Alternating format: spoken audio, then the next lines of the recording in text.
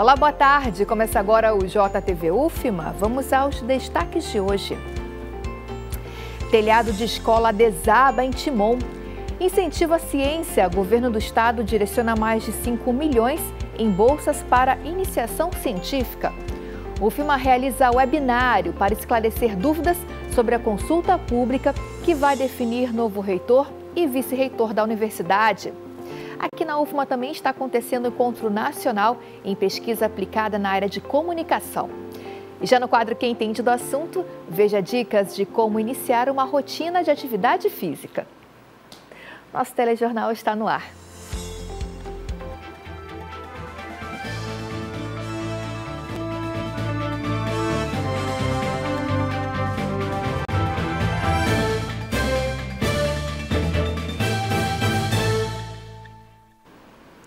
Governador Carlos Brandão decreta ponto facultativo em dias de jogos da seleção feminina na Copa do Mundo de Futebol. Em Timon, telhado de escola desaba. Então vamos ver esses e outros destaques agora no Giro de Notícias. Na zona rural de Timon, o telhado de uma escola desabou. No vídeo de uma moradora da região, é possível ver o estado em que ficou uma sala de aula. A escola atende crianças de 4 a 8 anos. Ninguém ficou ferido. A prefeitura está investigando o caso. O governador Carlos Brandão decretou ponto facultativo nos órgãos do Estado durante os Jogos da Seleção Feminina na Copa do Mundo.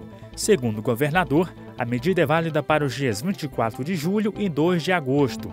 Nesses dias, os expedientes vão começar às duas da tarde, já que as partidas serão pela manhã. A medida não vale para os serviços essenciais. Foram vistoriadas as obras de restauração do muro que dá acesso à Praça Dom Pedro II, em São Luís. A visita ocorreu após o IFAM autorizar a retomada das obras pela Secretaria de Estado de Infraestrutura. O muro, que fica em frente ao Palácio dos Leões, desabou em abril deste ano, depois de uma forte chuva.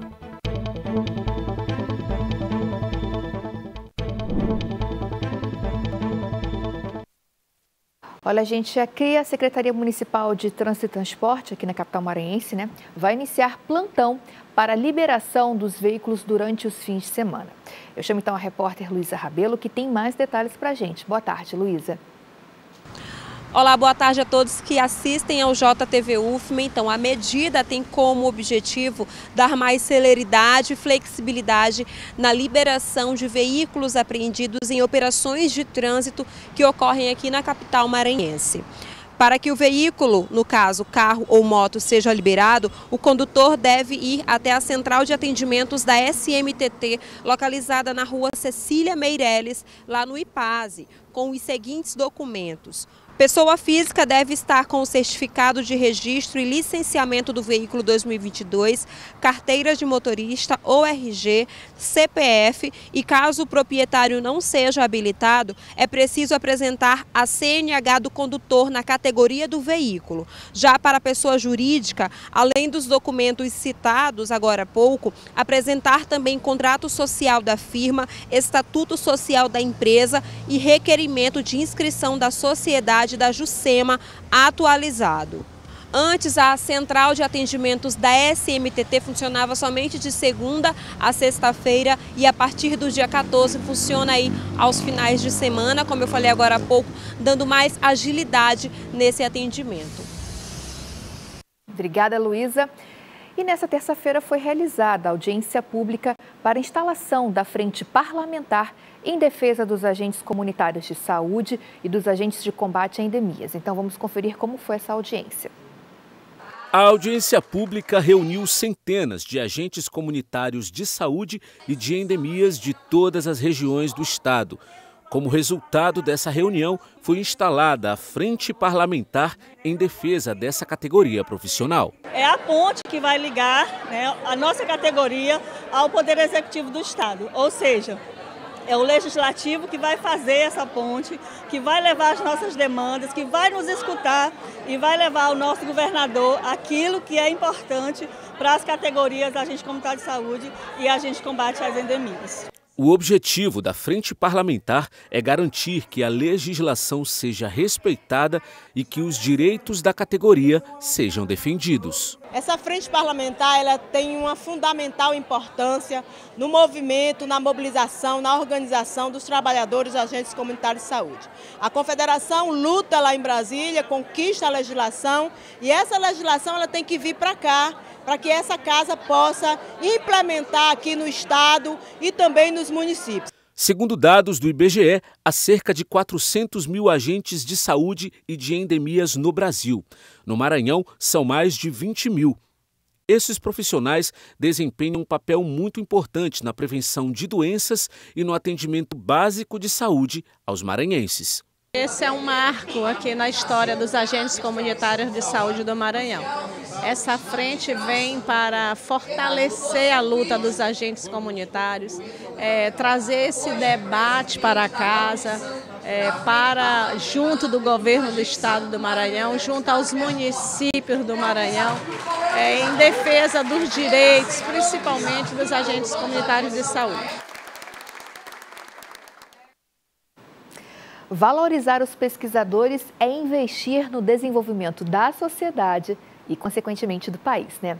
Aqui no Maranhão, o governo do estado, por meio da FAPEMA, vai investir mais de 5 milhões em bolsas para iniciação científica, dando oportunidade para estudantes de diferentes instituições de ensino. Apoiar a pesquisa científica e, deste modo, criar avanços para o Estado. Esses são alguns dos objetivos do investimento feito pelo governo do Maranhão em bolsas de iniciação científica. O montante de 5,7 milhões de reais é concedido a professores e estudantes por meio da Fundação de Amparo à Pesquisa e ao Desenvolvimento Científico e Tecnológico do Maranhão. Primeiro contato que o aluno do ensino médio ou da graduação vai ter com a gramática da ciência, né? Ele vai é, desenvolver um projeto junto com o orientador, vai aprender a articular esse projeto, os objetivos, a metodologia, os resultados. São bolsas de duração de um ano. Para iniciar uma pesquisa científica, é necessário, antes de tudo, propor uma questão-problema que deve ser respondida ao final do estudo. Durante esse trajeto, o estudante pode adaptar, aproveitar ou continuar a pesquisa desenvolvida ao longo da iniciação científica no seu trabalho de conclusão de curso, o TCC. Como o próprio nome já sugere, a Bolsa de Iniciação Científica é uma espécie de primeiro passo que o aluno dá para ampliar a sua formação. É através da pesquisa científica, por exemplo, que ele incrementa o seu currículo Lattes, objeto fundamental para quem quer trilhar caminhos científicos. E a bolsa da iniciação científica ela vai funcionar como uma cola entre o fazer e o feito, porque se eu falar que fazer iniciação científica de pesquisar, que pesquisar é fácil, vou estar mentindo. A gente vai se encontrar vários obstáculos e a bolsa vai ser uma das formas de resguardar a própria pesquisa e o pesquisador. A professora do curso de Comunicação Social da UFMA, Flávia Moura, coordena o grupo de estudos Trabalho Escravo e Comunicação. Ela fala sobre a experiência adquirida pelos alunos a partir da pesquisa. Quando a gente vai para uma banca, eu sei dizer se o aluno foi de iniciação científica ou não ele tem uma maturidade, ele tem mais segurança, ele leu textos de forma coletiva. Né? Então ele tem mais segurança no que ele está fazendo. O Programa Institucional de Bolsas de Iniciação Científica, PIBIC, é um programa financiado pelo CNPq e busca estimular a articulação entre a graduação e a pós-graduação, além de contribuir para a formação de pessoas interessadas em pesquisar. O impacto disso é muito grande. Né?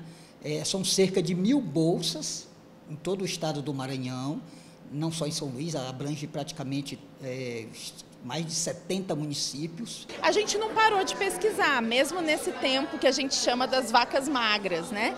Mas gente, é fundamental o incentivo é, para o aluno permanecer na universidade e saber que existe algo além do ensino, que é a extensão e a pesquisa.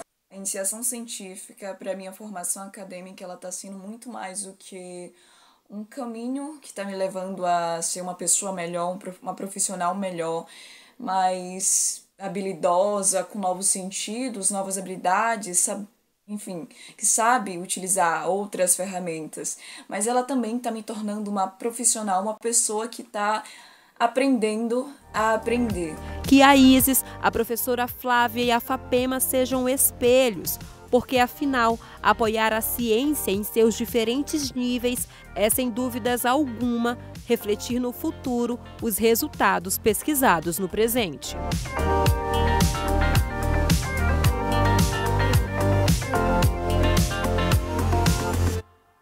Muito bom. E que venham mais investimentos para a ciência. E uma das casas do conhecimento científico é aqui, a Universidade Federal do Maranhão, a UFMA. E quando a gente fala em ciência, ela está presente no nosso dia a dia, no nosso cotidiano e também na comunicação, né? Bom, gente, hoje é o último dia do primeiro encontro nacional em pesquisa aplicada na área de comunicação o primeiro Aplicom 2023 que está acontecendo aqui na UFMA. E quem tem mais detalhes para a gente é a repórter Luciana Rodrigues. Boa tarde, Luciana. Olá, boa tarde a todos que acompanham o JTV UFMA. Hoje é o último dia do Aplicom, do primeiro encontro nacional em pesquisa aplicada na área de comunicação, que foi e que está sendo organizado né, pelo programa de pós-graduação em comunicação, o mestrado profissional da UFMA. Eu conversei com o coordenador do evento, o professor Márcio Carneiro, que falou um pouquinho sobre a importância do Aplicom e principalmente da relação entre academia e mercado de trabalho. Na universidade, essa história de conexão é, é, universidade né, e sociedade, universidade e empresa, né, é, é, um mantra. Todo mundo fala, né, mas isso é difícil, porque são mundos diferentes, são formas de pensar diferentes. Agora, não é por isso que a gente não tem que fazer esse esforço, né, abrir portas, abrir contatos. A gente está trazendo aqui não só acadêmicos, mas também profissionais, produtores de conteúdo. Né? A gente é uma universidade pública, então o nosso trabalho é, claro, produzir ciência, mas uma ciência que também saia, né, não assim apenas pro forma, né, mas de verdade, buscando não o que a gente quer fazer, mas o que as pessoas estão precisando, as organizações principalmente, que é onde a gente trabalha. E essa é a programação desse último dia do primeiro Aplicom. E na programação desta tarde, das 14 às 15 horas e 15 minutos, acontece o PPG Compro e Pesquisa Aplicada em Comunicação, da seleção à defesa nos relatos de quem já percorreu ou está no caminho. Das 15h15 às 17 horas, uma mesa redonda sobre acessibilidade, saúde e direitos humanos, a comunicação a serviço da sociedade. Às 17 horas acontece a sessão de encerramento com premiação Aplicom Júnior. Esta é a programação do último dia, ainda dá tempo para participar. Eu volto com você no estúdio. Obrigada, Luciana. E essa programação né, do último dia do primeiro Aplicom pode ser conferida de forma presencial no auditório do Centro de Ciências Sociais aqui da UFMA ou de forma virtual, de forma online, no endereço no YouTube que aparece aqui na sua telinha. Bom, gente, ó, a seguir a gente vai falar sobre a UFMA que realizou um webinário para esclarecer dúvidas sobre a consulta pública que vai definir o novo reitor e vice-reitor da universidade. E já no quadro Quem Entende do Assunto, tem dicas de como iniciar uma rotina de atividade física. Nosso telejornal vai para o intervalo e volta já.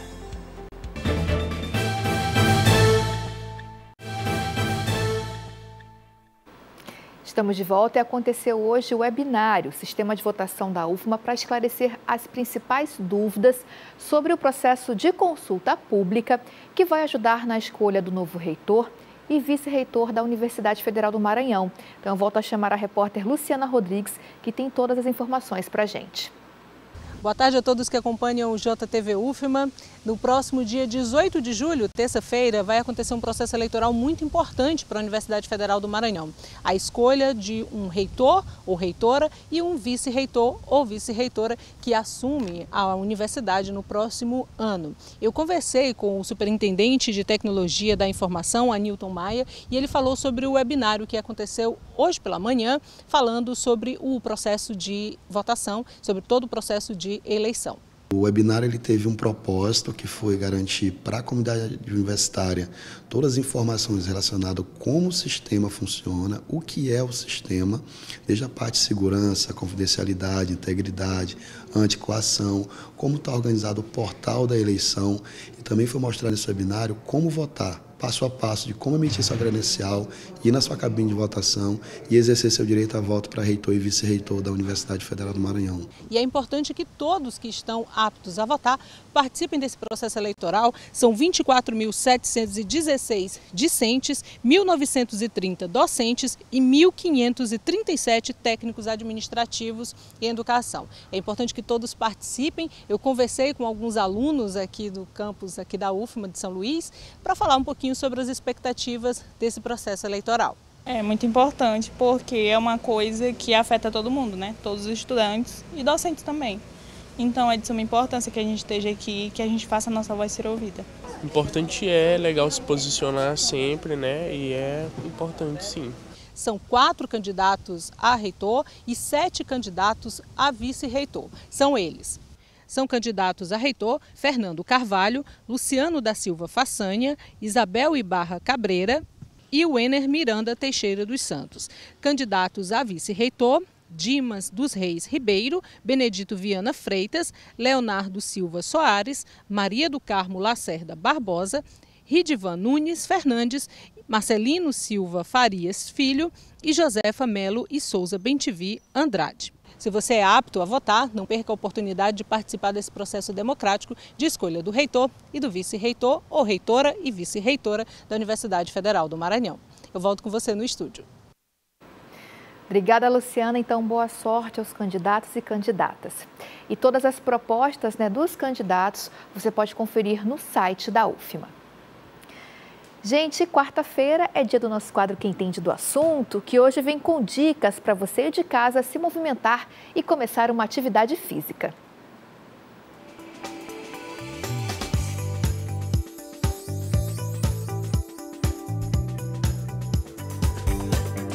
Como iniciar uma rotina de atividade física?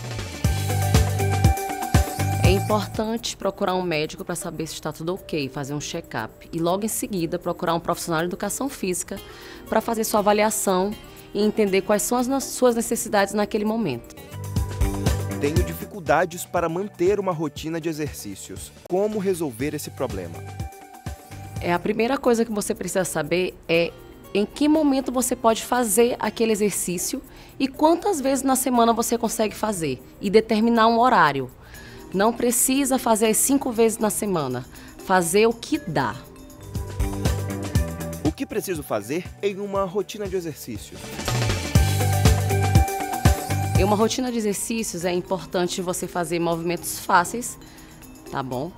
Trabalhar bem o core, que é o abdômen, essa parte do abdômen, e escolher um, um grupo para ser trabalhado naquele dia, um grupo muscular para ser trabalhado naquele momento. É importante estabelecer metas para uma rotina de exercícios? Sim, metas atingíveis. É, não adianta você colocar uma meta de treinar cinco dias na semana se você só tem disponibilidade para treinar três vezes na semana. Então comece devagar, no seu tempo e sem pressa. Depois de alcançar o objetivo, é preciso repensar uma nova rotina de exercícios para manter o que foi alcançado? Sempre é muito importante progredir ou o número de exercício ou progredir o número de vezes que você vai treinar na semana e até mesmo o tempo de treinamento daquela sessão. Quais os benefícios do alongamento? O alongamento ele é muito importante, principalmente para os idosos, na questão de flexibilidade e fortalecimento das articulações. Uma rotina de alongamento pode ser considerada como atividade física? O alongamento ele é considerado uma atividade física e você precisa ter uma rotina sim, principalmente no início do dia, assim que acordar e antes de dormir. Antes de fazer um exercício físico, é preciso alongar ou não? O ideal é que antes um exerc do exercício físico você aqueça aquela musculatura que você vai treinar. Se você vai treinar peito, você treinamento de força nos músculos do peito, você vai aquecer fazendo força. O alongamento ele vem pós a sessão de musculação. pós a sessão de vôlei, pós a sessão de natação. Antes é necessário um aquecimento, é o aquecimento que evita lesões. O alongamento é um exercício complementar? O alongamento ele é um exercício complementar, de preferência ser feito um dia depois da sessão para alongar aquela musculatura que foi trabalhada.